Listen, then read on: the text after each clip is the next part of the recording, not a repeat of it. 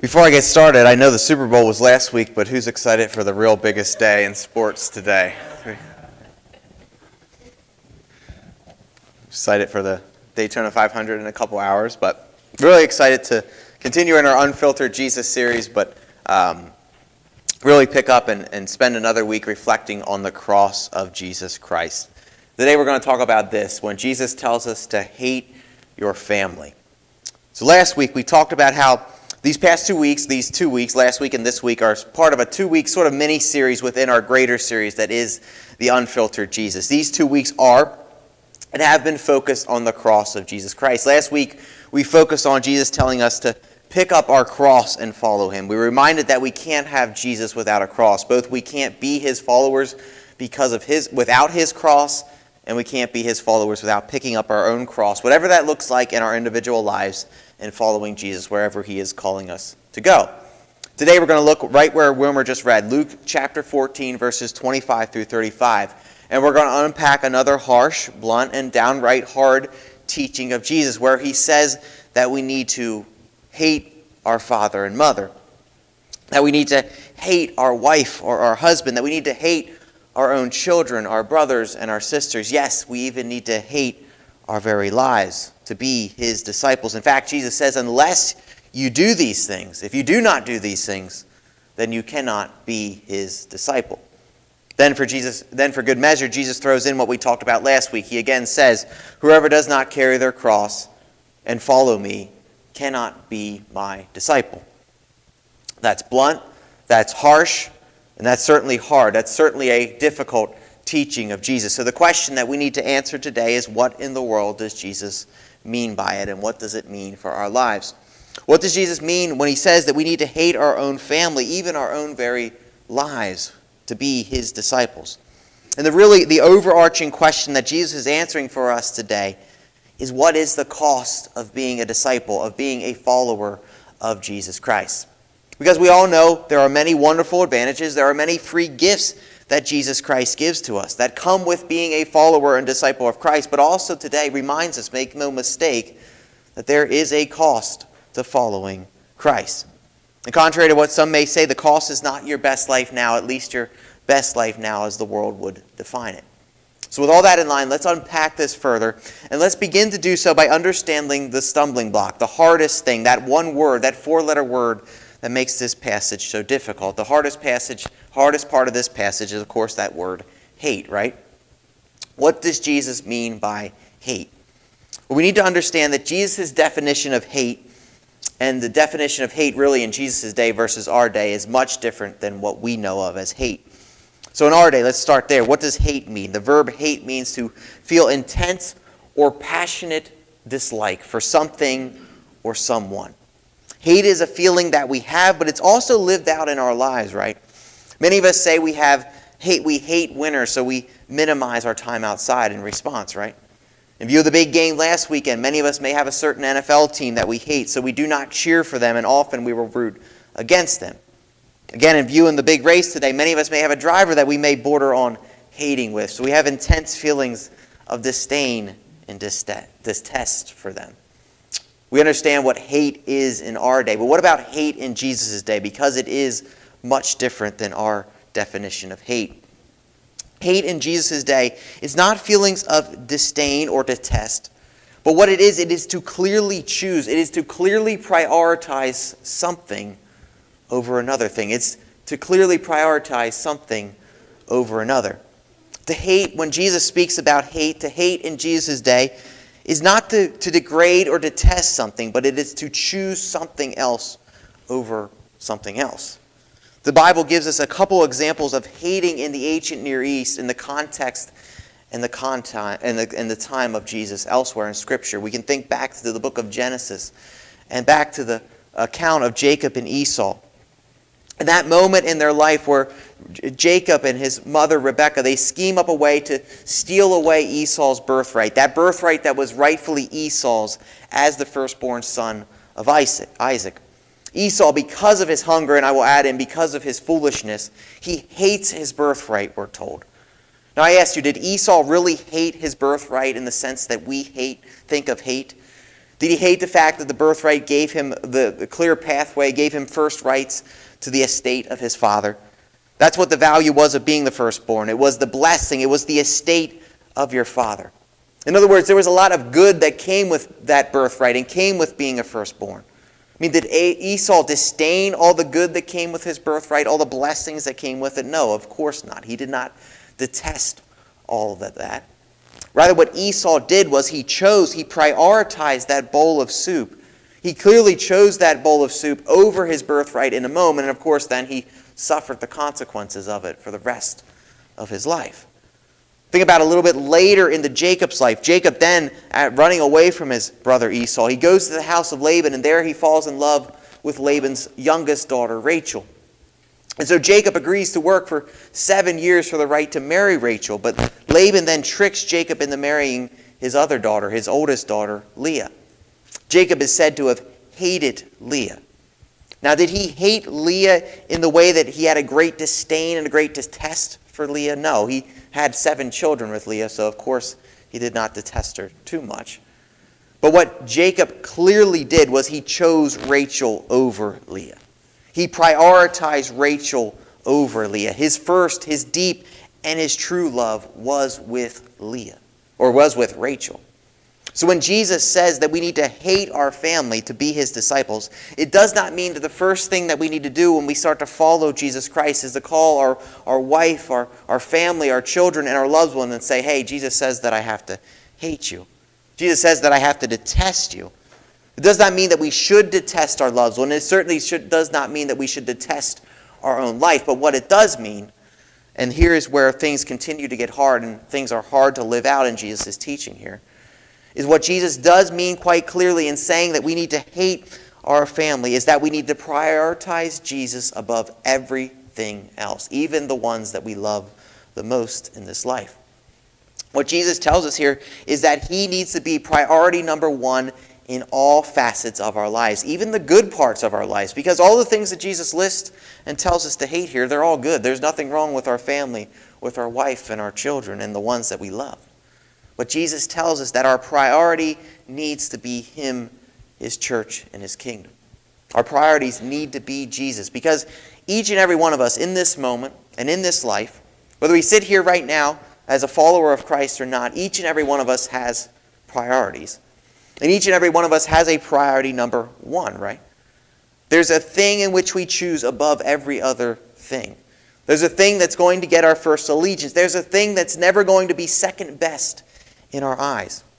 It could be our family. It could be our children. It could be our job. It could be our wealth. It could be our health. It could be our power or position. It could be our retirement. It could be any number of things, and it could be any number of even good things. But here's the deal, and here's what Jesus shows us here is, is that Jesus shows us this number one thing in our life. It should be, it needs to be Him. Jesus shows us, He tells us very bluntly and very clearly that it needs to be Him. And this needs to be true for every single one of us as His followers and as His disciples. This passage today and the passage last week tells us that Jesus must be first, that Jesus must receive top billing. That Jesus must be ruler, that he must be priority number one in our life, and that our life must then speak. It must show this truth in the way that we live and in the way that we speak. Jesus' teaching here is a command to evaluate our priorities, to evaluate what it is that gets first and top priority, top billing in our lives. It's an invitation to leave all while simultaneously gaining all. And here's what I mean by that. Let's unpack what it means by looking at, looking with, at verses uh, 25 through 35 of Luke chapter 14. Verse 25 begins with Luke telling us this and sort of setting the context and telling us how this teaching began. Luke tells us that large crowds were traveling with Jesus. And so, in turning and in traveling with Jesus, Jesus turns to them and he says, Now, we actually need to pause here before we actually look at what Jesus says. And this verse 25 tells us an important truth. And I've already mentioned it. But it shows us that this challenge, this teaching, albeit as hard as it is, this challenge and this teaching is for everyone, without exception. It's for everyone who desires to follow Jesus Christ. This setting or this resetting of our priorities is for each and every one of us saved by the grace and by faith in Jesus Christ. Remember, last week we talked about in that moment how the passage began with Jesus only teaching and only speaking with those 12 original, those 12 core disciples. But then he regathers the masses to say to everyone who will listen, This is the cost. This is what it looks like to follow me. Last week he focused on picking up our cross and follow him. This week it's that same thing, but he adds in this, this sort of bonus teaching of hating or prioritizing him above everything else in our lives, even our, our own family. But in both scenarios, Jesus is showing us that to be his disciple, that to be his followers, this is not, this teaching, this picking up our cross and our prioritizing him above all else, it's not just for the chosen few. In, in Jesus' day, it was not just for those 12 original disciples. It was not just them who needed to prioritize Jesus above everything else. It was not only for the disciples who had to pick up their cross and follow him, but it was for everyone who wanted to follow him. It was for everyone who wanted to be his disciples. It was for every single one that wanted to follow him, and the same is true for us and in our day as well. Picking up our cross, prioritizing Jesus above all else, is not just for any radical Christians. It's not just for the diehards over there. It's not just for the ones that work as pastors or as missionaries or work in what we call of as call think of as vocational ministry. It's not just those people that need to prioritize Jesus above all else, but it is for each and every one of us. Jesus makes that clear to us. He makes it clear to his original audience, and he makes it clear to us. By, to the original audience, he makes it clear to them by turning to the large crowd, by turning to all that were gathered there and saying, This is what it takes. This is what it looks like to be my disciples. And he says to the crowds that were currently traveling with him, as Luke puts it here, and I love the way Luke puts it. He says, This is what it means to go from traveling with me. This is what it takes from just simply traveling with me to actually following. And as we think about that, isn't that an interesting image that Luke gives us to begin this section of teaching of Jesus? Because aren't there many times, and aren't there many times, maybe even in our own lives, where we may be traveling with Jesus, but are we really following Jesus. Traveling with Jesus simply, it looks like and it sounds something like this in our lives. Well, well, you know, Jesus, I'm, I'm really looking forward to this retirement thing, but, but then I can do whatever I want. Then that's traveling with Jesus. It's prioritizing what you want over what Jesus wants. Rather, following what Jesus would be Jesus, I can't wait to retire because then I can have more time to do what you're calling me to do I can use that season in my life to do what it is that you're calling me to do. Following Jesus is Jesus, what is it that you want me to pursue in retirement or any other phase of life? Traveling with Jesus is saying, you, you know what, going to church, it's, it's the right thing to do. I like this Jesus fella, I like what he gives me. But at the same time, this is my life, and sometimes, and, and maybe even oftentimes, my life and my wants take precedent over Jesus' likes and his wants. I mean, I had a really long day today, Jesus. I will spend time. I will commune with you, but it will have to be tomorrow because the things that I have to do today come first. Man, it's been a really long weekend, and I have all these family gatherings, these things to prepare for. And so maybe, maybe I'll just skip church today. Or maybe, and this is a very new temptation in the life of the church, it's a very new temptation in the life here at Pequea Church. Or, or maybe I'll just watch it online, or I'll review it during their week. Friends, of course, there are times and there are valid reasons for not being here Sunday mornings, but we need to make sure that they are actually valid reasons. That we make sure that we are not missing, that we are not functioning, that we are not missing out on functioning with the body of Christ, with Christ Himself. We're not make, missing out those opportunities, that free gift given to us by God because our priorities are out of line and out of whack. We must make sure that it is not because Jesus has taken a back seat in our life to the rest of our life, because we should want him. He deserves to be priority and desire number one. We are following Jesus. We are not just simply traveling with Jesus. Following Jesus is not Jesus as our often forgotten friend. He's not that friend that we only call to in times of trouble. Rather, he is the friend that we call to and that we submit to in all things and in all facets of our lives. He is supreme. He is priority number one in all areas of our lives. We must see that. We must declare that. But what I believe is most important for us today is we must live that. Jesus is not our travel companion, companion in life. He is so much more than that. He is the one that should be driving. He is the one that is at the wheel of our lives, and we should let him drive.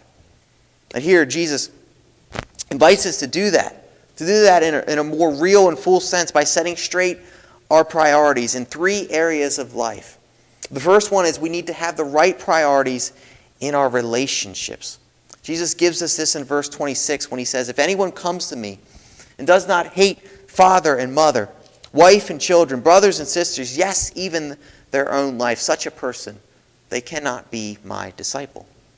In this moment, people were coming to Jesus, but they were not coming to Jesus with the right priorities, so Jesus is about to help them be set straight. Again, what it means to hate our father or, or family, what it means to hate even our own life and being Christ's disciples is not as we've already spoken about. It's not our call to detest our loved ones. It's not our invitation to hate our family. It's not our invitation to cause us harm or to cause our families harm. It's not our call to even go off and to live in seclusion as some sort of a monk or a nun. Church father, pastor Martin Luther, who came to faith in Jesus Christ in his early in his life, yet he struggled for years with really believing and living like he had been forgiven, living like he had been redeemed, living like he had been forgiven by faith and by grace alone. He struggled to believe and to live like it is by grace and by faith alone by which we are saved and by which, most importantly in his case, by which he was saved. He couldn't believe or he wouldn't believe that salvation gifted to us by Jesus Christ is truly a free gift that we cannot deserve and we can never earn. And so, as an attempt to earn that free gift of forgiveness, Luther joined a monastery. But not only that, in that monastery, he would subject himself to harsh physical punishment. He would deprive himself of basic necessities and things like food. He would fast, which fasting is a good and a biblical thing to do, but Luther took a point to a point where Jesus has no one desire for us to go. He took it to a place where it was gravely affecting his health. On top of that, he would have himself whipped as penance for his sin. Anytime he would stumble in sin, Luther would have himself physically beaten. And because of this, Luther was in rough shape, all because he could not or he would not accept that salvation, the salvation and forgiveness of God in Jesus Christ is a completely free gift. And this continued until one day he came to grips and he was able to see that it is by faith and by grace alone in the Lord Jesus Christ by which he was saved. And at that point, Luther began to cease disdaining himself and hating his own life. Now, why do I say all that this morning? Many in this room and many maybe joining us online either have or maybe are currently experiencing this same type of hatred for ourselves and for our lives. Maybe you haven't gone off and joined a monastery, but, but certainly you've done your fair share of beating yourself up over the way your life has gone, just like Luther. And so I say to you today, because passages like this, when viewed incorrectly, they can be twisted in our minds or they can even be twisted by certain teachers to further the belief that, man, we have to earn it. We have to earn our place before God. We have to pick up that cross because that's our way of earning our forgiveness and our love that is freely given to us by God. Or that we won't earn our way into heaven. We can't be Christ's disciples if we don't suffer, if we don't do these things, if we don't earn it before Jesus. But hear me when I say this. This is not at all what Jesus is saying here. You can know that salvation is a free gift that comes only through faith in Jesus Christ. And you can know that if you have professed Jesus Christ as your personal Savior and Lord, then you know that you have been forgiven. Know that you have been redeemed. Know that you have been made new. Know that from what you do from the moments prior to this moment and the moments that are to come, it has nothing to do with whether or not God loves you or whether or not God is for you. God's love is freely gifted to you, and God is for you because of his great love for us. That's nothing, that has nothing to do with what we have done or what we are yet to do. Know that you can truly, and you should truly know that you have been forgiven by Jesus Christ, that he has forgiven each and every one of your sins in the past and each and every one of your sins to come, no matter how great or how many they may be. But also know this because of the wonderful glory, because of the wonderful reality of the free gift of salvation that is Jesus Christ, because of the wonderful love of God revealed to us in Jesus Christ, then we should want to set our priorities straight as Jesus is inviting us to do here. This always helps me to understand this process of knowing and following Jesus Christ and living in the forgiveness of Jesus Christ. But we confess Jesus Christ as Savior one time. That's a one time profession of our mouth. And at that point, we are forgiven, we are redeemed, and we are made new. But confessing Him as Lord is a profession that we make with our life every single day of our life that follows. Every single day, we choose who we make the Lord of our lives. And I pray for us as Pequea Church and as individuals, we make Jesus the Lord of our lives for every day that follows in the rest of our days. And we make Jesus the Lord of our lives by having the right priorities in our relationships. Listen, what Jesus tells us here in verse 26 is that if, if there is a relationship with someone, even someone so close to us, if there's a relationship with someone in which we hold more dearly than we hold our relationship with Him, then our relationships need to be reset. Our relationships then need to be reprioritized. Look, brothers and sisters, we often sing songs in the church. We pray, pray, we pray prayers in the church that say that Jesus is better than anything in this world. Lord, there is nothing better than you. And so make no mistake, that's not just a catchy line that we sing, but it is a reality of Jesus Christ. It is the truth. There is nothing better than Jesus. That's a truth that needs to reign in your life. It needs to be seen in every aspect of your life, including your relationships. So I ask you today is there a relationship that you hold more closely than you hold on to Jesus Christ? Is there someone that is untouchable, even in comparison to Jesus Christ? Is there someone who gets the first fruits, fruits of your life and your energy, while Jesus is left to get whatever is left over? If the answer is yes, what I am saying, and what most importantly, what Jesus is saying, is not that we need to cut that person off or that we can't love that person anymore. Although, depending on the situation, that could be what's best. But what, what I am saying to each of us, what Jesus is saying to each of us, is that our relationship with Him, our relationship with His church, our relationship with His kingdom, it needs to be priority number one. There's no escape clause from this reality. It's made quite clear by Jesus, and it is true for each and every one of us. We need to have the right priorities in our relationships, and our priority number one in our relationship is our relationship with Jesus Christ. Continuing on in verses 27 through 32, there Jesus shows us that we need to have the right priorities in our plans, in the plans for our life. Verse 27, Jesus says, Whoever does not carry their cross and follow me, they cannot be my disciple. And then in verse 28, he begins to teach and explain this through two parables. He says, Suppose one of you wants to build a tower. Won't you first sit down and estimate the cost to see if you have enough money to complete it? For if you lay the foundation and are not able to finish it, everyone who sees it will ridicule you, and they will say, This person began to build and wasn't able to finish. Or suppose a king is about to go to war against another king. Won't he first sit down and consider whether he is able to, with, to with 10,000 men, oppose the one coming against him with 20,000 men? If he's not able, the king will send a delegation while the other king is still a long way off, and he will ask for terms of peace. Look, following Jesus is not easy street. It's not all cupcakes and rainbows. And what Jesus reminds us here is that life with Jesus is a life following Jesus. In other words, when we follow Jesus, we are no longer ultimately in control of our lives anymore. Rather, we turn the wheel of our lives over to Jesus Christ, and in the most literal sense, we say, Jesus, take the wheel. Now, Jesus drives. Jesus determines everything about our lives. Where we work, where we live, He he determines how we raise our kids, how we spend our time, how we, how we make our plans, and that we don't make our plans ultimately, but we allow God and His Son to set our agendas. We allow Jesus to determine what it is that we do, and we allow Jesus to determine what it is that we don't do. We should probably here pause for a moment and think about this from the perspective of our churches and our church here at Pequea Church. For we have the joy of celebrating the fact that God has been very busy within our church in these past 18 months or so. God has done a lot of great things, and He will continue to do a lot of good and great things. God has had great plans for us, and He will continue to have great plans for us forever. And, and think about this. And in those plans that have already come to fruition and the plans that, have, that are about to come to fruition, they might not always have been our plans. They might not have been the way that we designed it and the way that we drew it up, right? Sometimes, and I would say oftentimes, God's plans are quite different than our plans.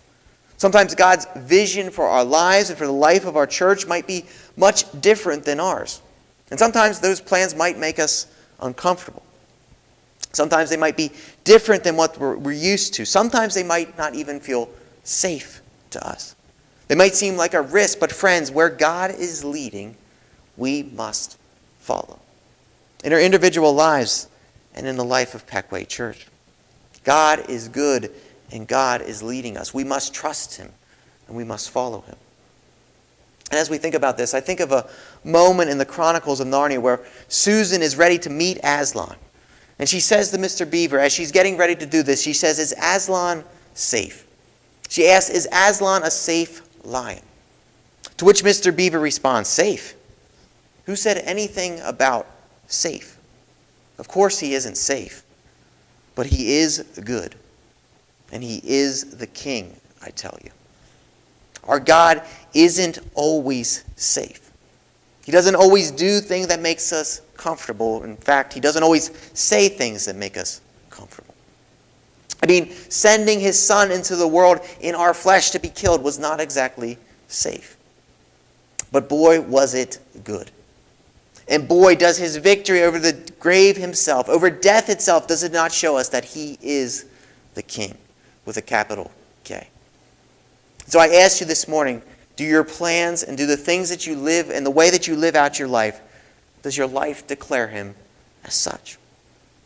The final, the final challenge that Jesus gives us here in readjusting or adjusting our priorities is to reset our priorities when it comes to our possessions.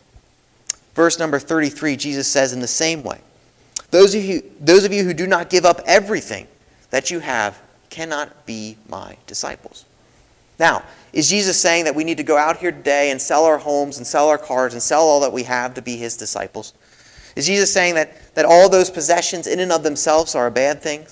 Is Jesus saying that we have to live on, his, on the street with no possessions to be his disciples? No, of course. That is not what Jesus is saying. But what Jesus is saying is that those possessions, number one, they are no longer our priority anymore. Our, our accruing of more possessions, that's no longer the priority of our lives anymore. And what else Jesus is saying is that those possessions that we do have and those possessions that are to come, Jesus reminds us here that ultimately those possessions are no longer ours anymore. I mean, when we come to Christ, He gets all of us. We don't just pick and choose what it is that we give to Jesus because He graciously takes all of us. He takes the good, the things that we want to hold on to, but He also takes the things that we want to get rid of. He takes the sin and the evil in our lives.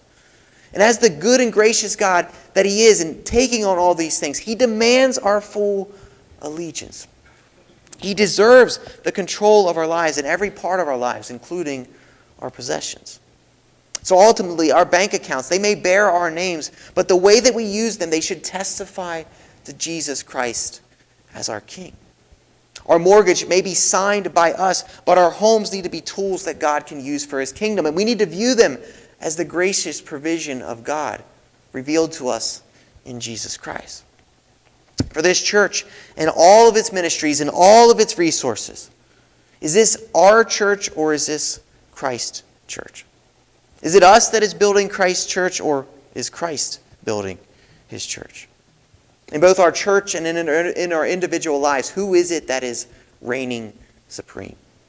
I heard a lead pastor say that he was not really the lead pastor, but that Jesus was the only real pastor of this church. Friends, I pray that this is true today, and I pray that it is always true of Pequea Church. As we look at our individual lives and as we look at the life of Pequea Church, is Christ in the driver's seat or at best is he tucked away in the back seat? Jesus allows us, he invites us, he commands us to reevaluate our priorities. And then he closes the passage by saying this. And this is my uh, lay translation of what Jesus says in verses 34 through 35. He says, Get or stay salty, my friends. And he does this by saying another sort of confusing things. Verse 34, he says, Salt is good, but if it loses its saltiness, how can it be made salty again?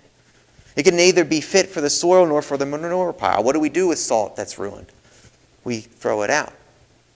What does Jesus mean by that? Well, think about it with me. Each and every one of us is familiar with salt. And if salt gets wet or if it gets contaminated in any way, if it's not pure salt anymore, if it loses its saltiness, what good is it then, right? It's, it's no good. Salt that isn't salty, salt that is contaminated, is good for nothing more than to be thrown out. We have nothing to do with it. We have no use for it. So, as we think about our following of Jesus Christ, the question that verses 34 through 35, that this idea of salt that loses its saltiness, the question that it begs of our lives, is not only are we following Jesus Christ, but are we following Jesus Christ alone? Or are we contaminated with something else? Do the priorities of our lives say that we have been made pure, that we are trusting, that we are surrendered to Christ and to Christ alone? Or best, do our lives and our priorities, do they say that we are trusting in Jesus, but we're trusting in Jesus plus? Jesus plus whatever it is we also trust and we also seek in this life. Or at worst, are we completely rejecting Jesus Christ and, and putting none of our trust in Him? The question that this passage begs is do our life's priorities say that, that our relationship with Jesus Christ is the first thing that we think about in the morning and it's the last thing that we think about in the evening. Is Jesus all that we could ever need? Is Jesus enough? And is it the thing that we desire above all else? And so, as we begin to close both our time together today and our time together last week, I would like to start to do so by saying that, that this is hard. I mean, make no mistake, I, I read these passages that we've looked at the past two weeks, and and other passages where Jesus says really hard and challenging things like, let the dead go and bury their own dead. Where he says that anyone who puts hand to plow in service for the kingdom of God yet looks back is not fit for service in the kingdom of God. I look at those things like you and I say, man, that's not easy, Jesus. That is a difficult thing to do. Make no mistake, I am nowhere perfect in any of these realities of following Jesus Christ that we discussed. Make no mistake that none of us are and none of us will be perfect. But what we must do and what we must have is a desire to follow Christ as purely and as holy as we can. We must have a desire to, to set our life focused upon these realities.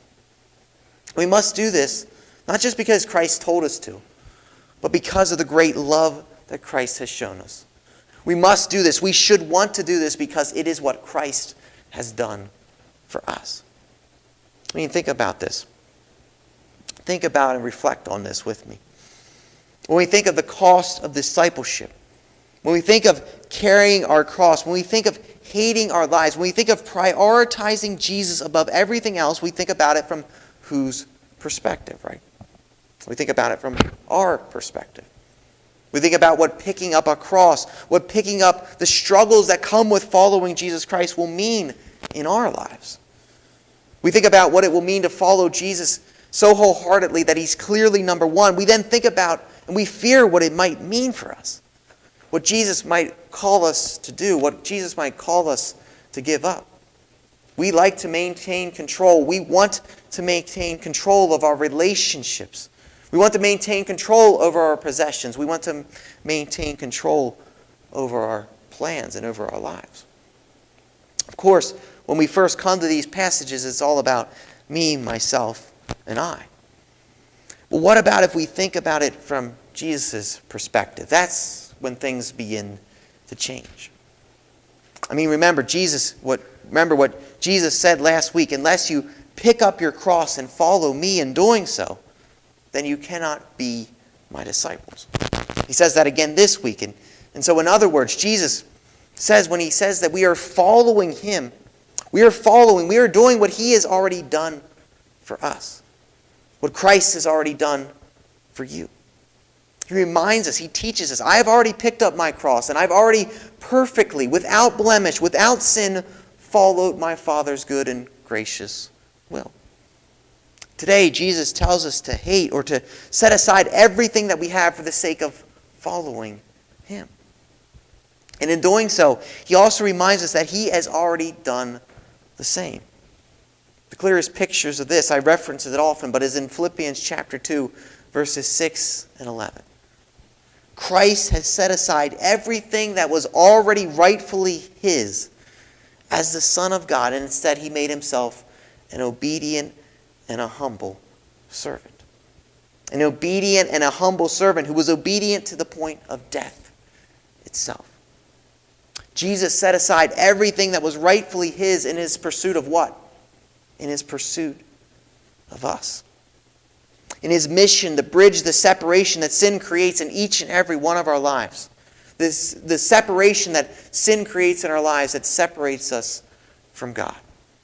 And thanks be to God, He has bridged that gap through Calvary's mountain and through His shed blood and through His broken body. But what I want us to think about, reflect upon today and in this week, is do we think that it was easy for Christ to do this? Was it easy for Him to leave His heavenly throne to take on our feeble flesh? To take that flesh to be born in Bethlehem's stable? To then in that flesh experience every one of our weaknesses, every one of our struggles, every one of our temptations for the first time. To experience hunger, to experience thirst, to experience loneliness, to experience rejection, anger, and temptation. Was it easy for Jesus to have his cousin John the Baptist's head served on a platter? Was it easy doing life with this ragtag bunch of sinners? Was it easy for him to be tempted for 40 days and for 40 nights by the devil himself? Was it easy for Jesus to spend his time with that ragtag bunch of sinners, teaching them all while they continued to prove over and over again that they just weren't getting it? Was it easy living and knowing with someone so close to him, knowing that that someone so close to him was going to betray him? Was it easy to be in so much agony in the Garden of Gethsemane? Agony over knowing what it is that his father was going to call him to do in a few hours, that blood literally poured from his sweat glands. And then, certainly, was it easy to be beaten, to be mocked, to be tortured, to have a crown of thorns shoved down upon his head, to be spit on, to be mocked, to be so weak that he could not even carry his own cross? To then to be nailed hand and feet to said cross amongst common criminals, even though he was anything but common and he was anything but a criminal. Was there anything easy about what Jesus Christ has done for us? Was there anything easy about the literal and then the figurative cross that he carried for us? As we start to look to the Easter season, we know that the answer to that is no. There was nothing easy about it. But we also know that because of it, we are able to be called sons and daughters of the living God. We know that because of it and because of it alone, we are able to be redeemed, we are able to be forgiven, and we are able to be restored to right relationship with our Heavenly Father. Because of it and because of it alone, we are no longer slaves to sin or to anyone or to anyone else because we are set free by Jesus Christ. We are set free by the cross of Calvary. This is the truth of the cross and this is the truth of Jesus Christ, to which we can say, Thanks be to God. But we can also say, and we could also know, that the path to making this a reality, it was far from easy. It was far from simple. It was far from comfortable for Christ. We can know that this all came about at a great, at a grand cost. In fact, it was the greatest cost that any of us ever will pay, that has ever been paid or ever will be paid. It came, and it could only come, at the cost of the very life of the Son of God Himself. And so, what the past two weeks and what the gospel of Jesus Christ as a whole tell us is that the cost for Christ is the cost for us. But this is not something that should scare us. It should not something that be something that causes us fear. Rather, it should be something that causes us, causes us to rejoice. Because, brothers and sisters, we have been called to something so much greater than ourselves. We've been called to something so much greater than our possessions. We've been called to something so much greater than our plans. We've been called to something so much greater than our earthly relationships, even. We have been called by the gracious and loving heavenly creator of the universe. We have been called sons and daughters of the living God, and in such, and as such, we've been given a mission. We've been given a purpose. We've been given an identity. We've been given a calling. It's to help people know and follow Jesus Christ. It's to pick up our cross, whatever that looks like in our individual lives, and it will look different in each and every one of our lives. It's to pick up that cross and to follow Christ wherever it is He is leading us. And so this morning, and every day that follows, we know that the cross to following Jesus it is high. But we can also know that the return to following Jesus, it will always, always, always be so much greater than anything we could ever give up, even if Christ calls us to lay down our very life. This morning, as we think about Sadie's passing, I'm sure there were many struggles in her 96 years. But today, she's tasting the fruit of that struggle. And we can thank God for that. And so I ask us this morning can we, with Paul and with thousands and billions, I would say, of saints throughout history declare, I consider everything a loss because of the surpassing worth of knowing Jesus Christ as my Lord and my Savior, for whose sake I have lost all things. I consider them garbage that I may gain Christ. Jesus is of great worth. Jesus is enough. Jesus is all sufficient. But at the same time, Jesus is not safe. But boy, is Jesus good. And may this, may the cross of Jesus Christ, may the goodness of God, and may Jesus Christ himself, may he always be enough for us. Let's pray.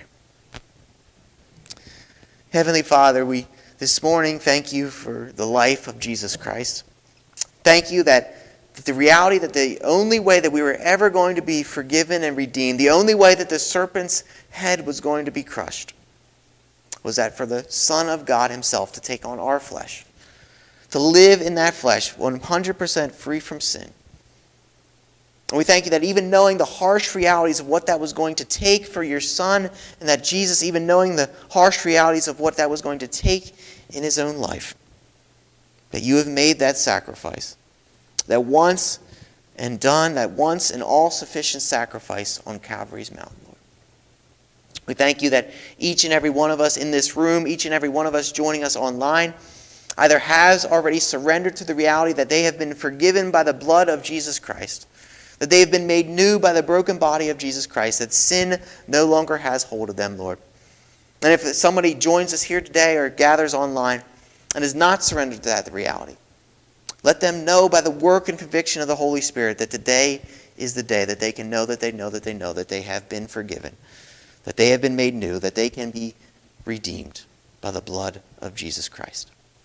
Lord, today we, we thank you and we praise you for the life of Sadie Starr. We thank you for her example of going before us and serving you even in the hardest moments of life, Lord. And we thank you most of all for the joy of knowing that she is with our Savior, her Savior, Jesus Christ, in this moment, Lord. May we use this time, this timing of our death, to draw us all closer to a relationship with you, to draw us all closer to our Heavenly Father. Lord Jesus, show us what it is that you want us to do in our individual lives, what it is that, that we need to do in our following and our pursuit of you. For Pequea Church, show us anything that we need to set aside that's not of you, or the things that, that you no longer uh, are calling us to do, or the things that you want us to do in this moment, Lord. Give us a clear vision. Give us clear sight for what it is that you want us to do. Lord Jesus, we pray and we sum this all up by making by asking that you would make us a little bit more like Jesus Christ. every day, every moment of our lives from this moment forward. And we pray this in the strong and in the gracious name of Jesus Christ, our Savior and our Lord. Amen. At this time, I'll invite you to take up your blue hymnals and turn to hymn number uh, 369. We'll stand and sing, and then the second hymn will be on the screen. We'll sing uh, for that one, In Christ Alone. 369, please stand and sing with me and return praise to the Lord Jesus Christ.